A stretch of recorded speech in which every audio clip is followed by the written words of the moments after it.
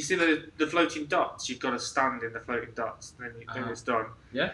That's better. Okay. Uh, yeah, because now my, my hand is my hand. if That makes sense.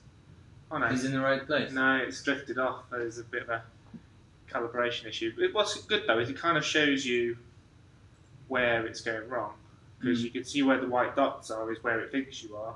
Mm-hmm.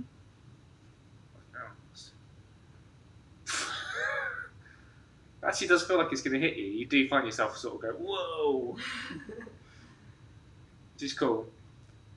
There- there- There's clearly a couple of issues with it, but it's still quite fun nonetheless. Yeah. Especially for what we need, it's perfect. Isn't it? Yeah, exactly. It's Just positional reaction. tracking. Exactly, just for posi- positional tracking. The positional tracking on its own is, is really good. Yeah, and Because- then, then we can venture into more stuff. Because we were thinking of like basically. Um, You can see the reflection in the mirror of where it knows you are. So We were thinking to add a body in, v, uh, in AR. uh, it disappears when he can't see you. So okay, so you can see me here. Can't see me here. That's interesting.